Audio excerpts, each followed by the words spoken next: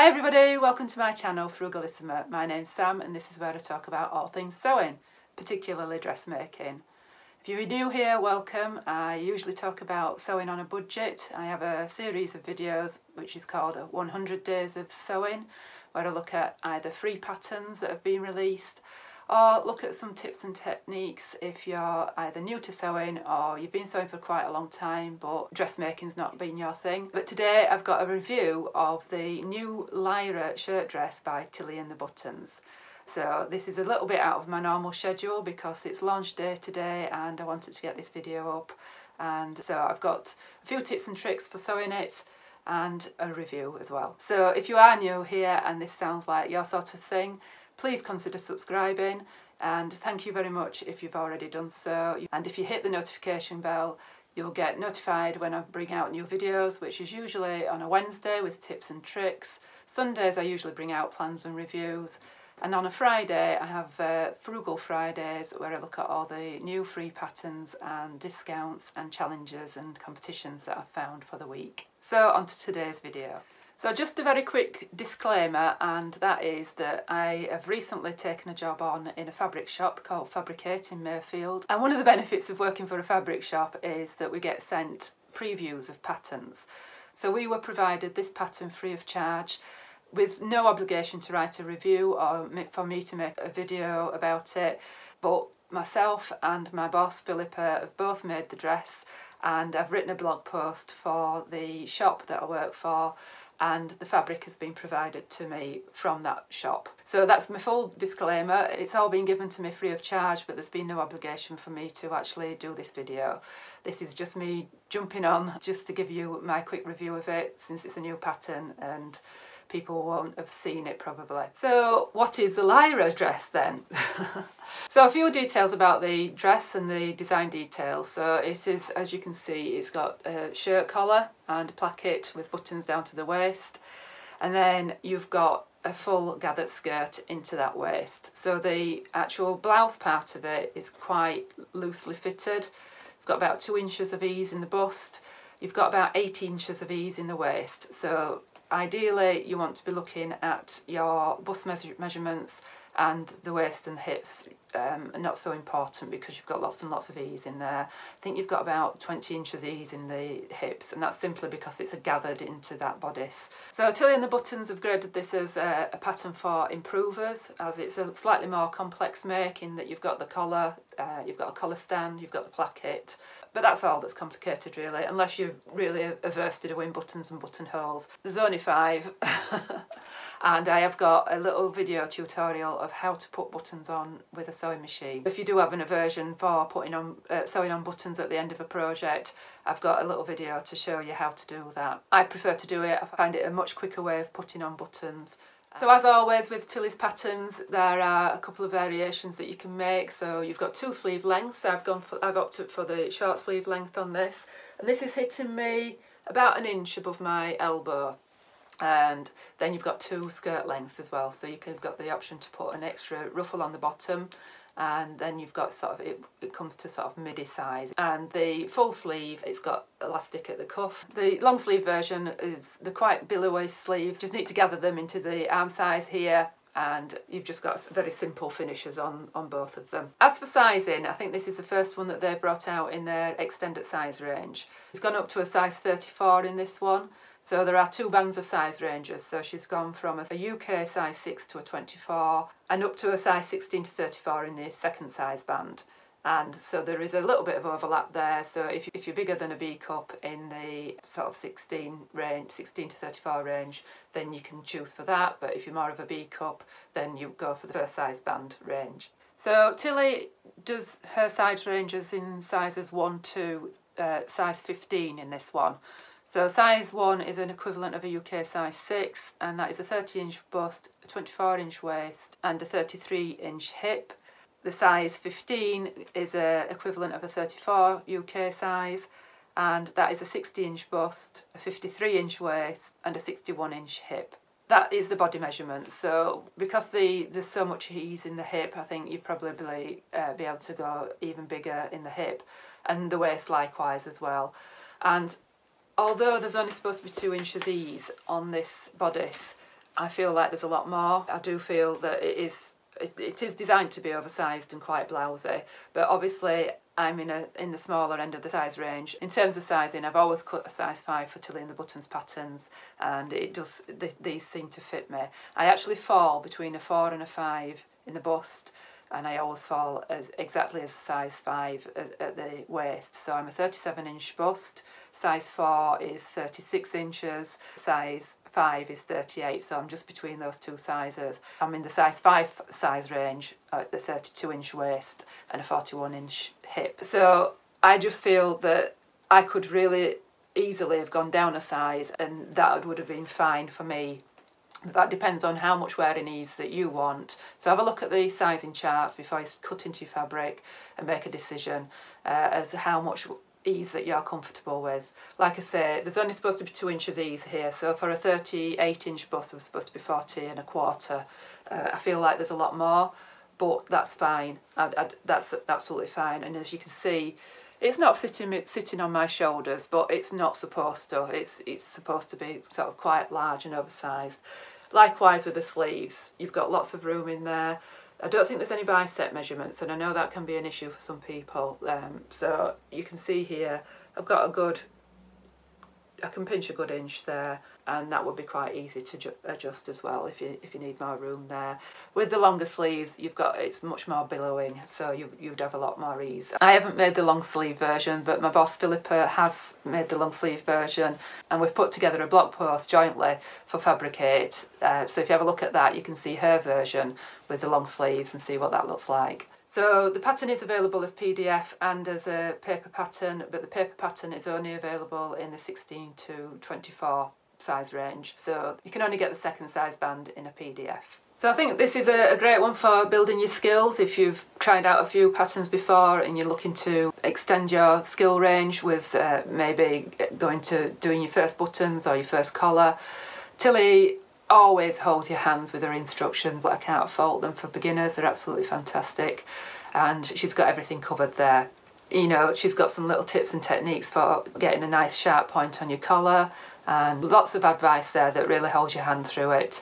And once you've got the bodice complete, which is the first part of the construction, it's fairly plain sailing from there. I wouldn't recommend this as your first ever project. I would say that get a few projects under your belt, maybe try her Stevie dress on top or something like that or any of the free patterns that I sort of look at. I've done the Chelsea raglan, that's a good one to start with. If you've never done any uh, garment sewing before, I wouldn't start with this one, I would start with something a little bit less complex that doesn't have buttons or a zip or something like that. It is designed as a skill builder, so something to uh, extend your skills. There is a belt option on this one, so if you're not too keen on the large billowy look, you can cinch it in with a belt, and I've added little thread chains at the side seams to carry that belt to stop it from falling on the floor. It really, really annoys me when you've got belts and they're just falling off all the time. And I find that you really do need it on this one because as you're reaching up, you don't really want that belt to come out of place. Of course, you can wear it unbelted, you don't need the belt if that's your style. I prefer something where it cinches me in the waist, so I won't be wearing it unbelted. But great for anything where you've got a big dinner and you just want to hang loose and free. It's a, it's a great one. And it's got pockets. She's always got your back covered with the pockets. So you've got the belt, you've got the pockets, those are, I mean, it's up to you whether you put those in or not, the side seam pockets, so you might not want that extra bulk at your hip. So the fabric options for this, designed for a woven, they've suggested cottons, uh, chambray, viscose and even a lightweight needle cord. I've gone for this Dashwood Studio uh, Circle Line rayon. I know it's got squares on.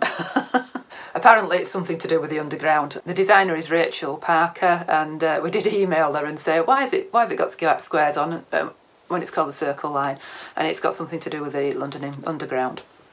So just in case you was wondering. So this is a, a, medium weight viscose. I wouldn't suggest that you went any lighter weight with the viscose. They're calling it rayon, it's the same, it's the same stuff. It's 120 GSM, if that means anything to you. So I wouldn't go for a, a lighter weight viscose just simply because you've got you've got these collar and, and plackets and what have you and you want something that's going to behave itself when you're pressing it. Um, but a viscose just gives you that extra swishy feel. Often times I find pattern designers lump viscose just all in, in one thing and viscoses are like anything like a cotton or a denim. They come in different weights. So I wouldn't go for anything lightweight but it's personally it's up to you because I just feel like it might want to pucker on the collars and the on the plackets and what have you. So that's just my, my two penneth worth.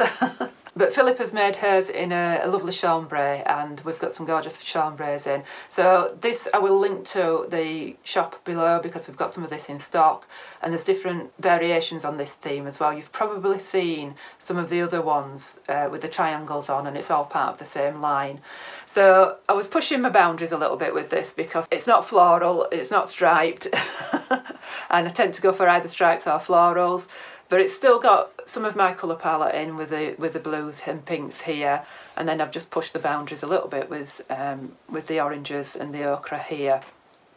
So and then I decided then I would pick out the orange with these orange buttons and use the blue thread uh, that's that's in this blue here.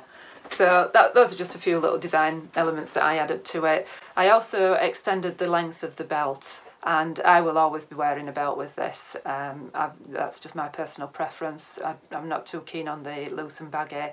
So yes, it would be lovely in a chambray. I'm not so sure about a needle cord. It, that is one of the recommended fabrics. It would, I feel, gathering needle cord would just be a nightmare and it just adds bulk to an area that I don't want bulk adding to. But a lightweight cotton would be really nice. So just for a bit of fun, Philippa challenged me to get this dress out of less fabric than is actually advertised. So it's for a size 5 with the short sleeves and the short dress, it's supposed to need 2.4 metres.